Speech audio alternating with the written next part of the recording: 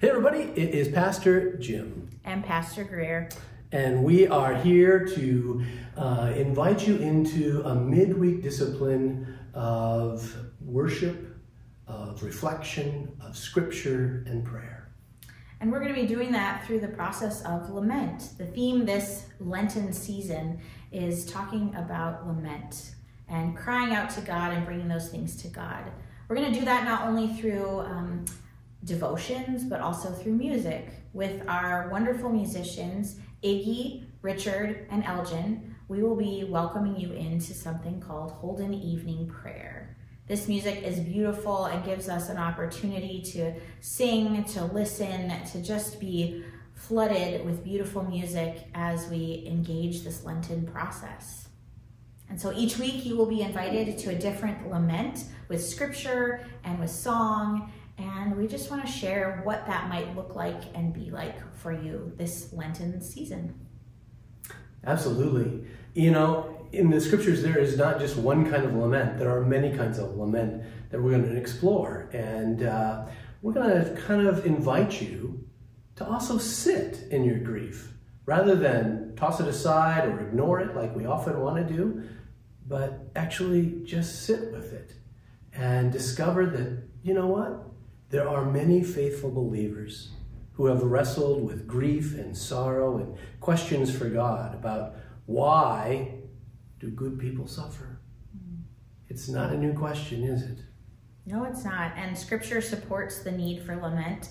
And the series understands how we need to come to God with full honesty and humility, bring our laments to God and lay them at God's feet, knowing that God can handle our lament and our rage and our wondering and our questions and our suffering, that God can handle those things that are maybe too big for our heart to bear. And so in this practice, we want to encourage you to lay those laments at God's feet and give the lament and the pain and the suffering right back to God to help hold and carry us through.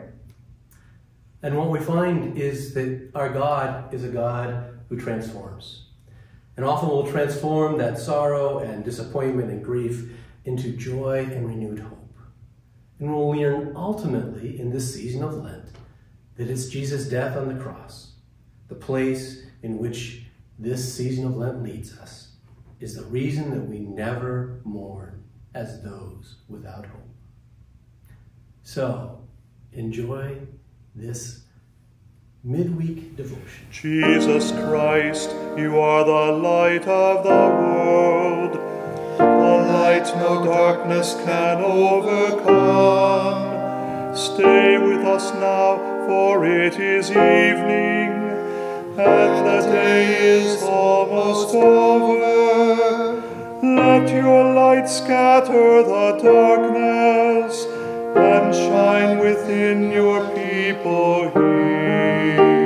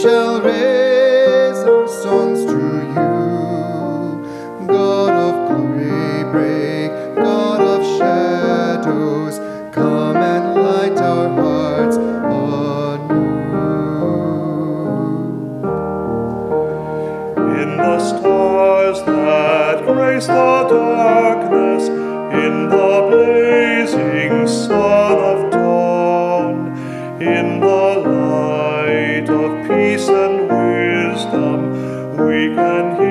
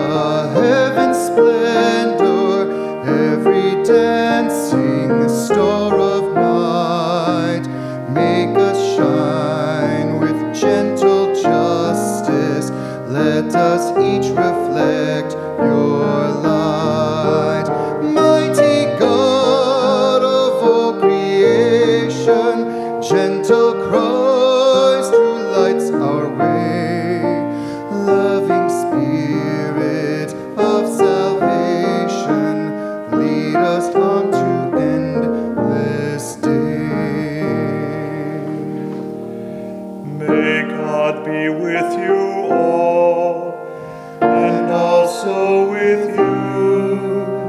Let us sing our thanks to God. It is right to give God thanks and praise.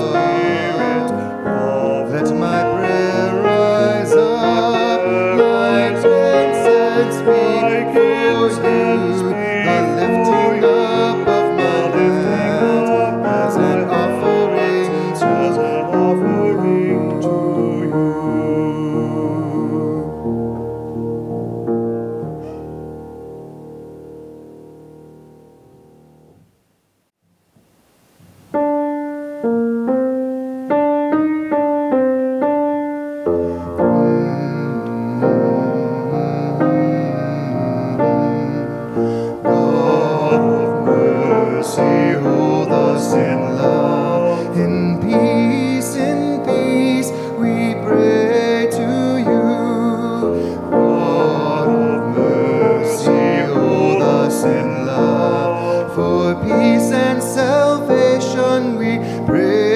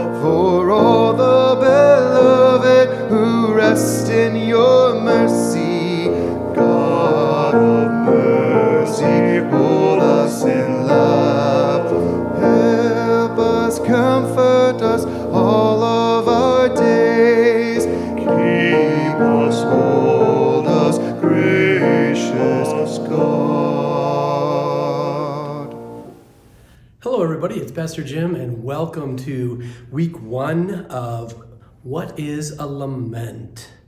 Well, we know that everybody experiences at some point in their life some grief, some sorrow, or maybe even questions for God about why innocent suffer. Why do the bad things happen to good people, right? We ask that question. And often that response is a lament. So let's kind of talk about what a lament is. Well, one example of a lament is found in Lamentations, chapter 3, and uh, verses 19 to 26. I'm going to read 19 to 23 and then reflect on that a little bit. The thought of my affliction and my homelessness is wormwood and gall. My soul continually thinks of it and is bowed down within me. But this I call to mind, and therefore I have hope. The steadfast love of the Lord never ceases. His mercies never come to an end. They are new every morning. Great is your faithfulness. Well, there we talked about affliction and seem like you have no place to be, no place to call home. Your soul is just broken inside. That's when we need a lament. And a lament is actually going, being able to go to God or go with others in the faith and maybe complain to God a little bit. And the Bible is filled with examples of faithful people of God offering sorrowful or even angry prayers to God. How long, O God? God, you know me. I'm really mad. You seem really silent right now. And what we know is that in the New Testament, even Jesus laments over Jerusalem and weeps over the death of his friend Lazarus. So to lament, it's to be honest, it's to grieve, it's to weep. I mean, these are all parts of the life of our faith, they're not separate from. Often we are too quick to push aside uncomfortable feelings of grief and loss and questioning of God. We have lost, in some ways, the spiritual discipline of lament. We know that the Psalms are filled with laments. So, in this season of Lent, maybe we are called to acknowledge the grief that is a part of our everyday life, holding it, and then placing it gently or maybe even forcefully into God's hands. I know since the pandemic, there has been so much grief in everyone's life. It's as though we're grieving not just uh, illnesses and all the things that take place in our lives, but there's a brokenness in all of us that things got interrupted, things didn't go back to the way they were. And we grieve that. So, this Lent, let's be honest. Join me and, and Pastor Greer in exploring the laments that are found in Scripture and maybe to relearn the discipline and the gift of holy lament. So let's think. What comes to mind when you hear that word lament? Do you think of ripping your clothes or sitting in ash? Those are biblical announce examples of what it means to lament. How comfortable are you with the concept of lament? Whether that be as an individual or even as a community, there are both. Do you feel lament is an important spiritual discipline that maybe you need in your life? Why? Why not? What I do know is, is that it's okay to grieve, to be sorrowful, and to even be angry at God, and to ask God why. I guarantee God is big enough to handle all of our questions, all of our emotion, all of our sorrow.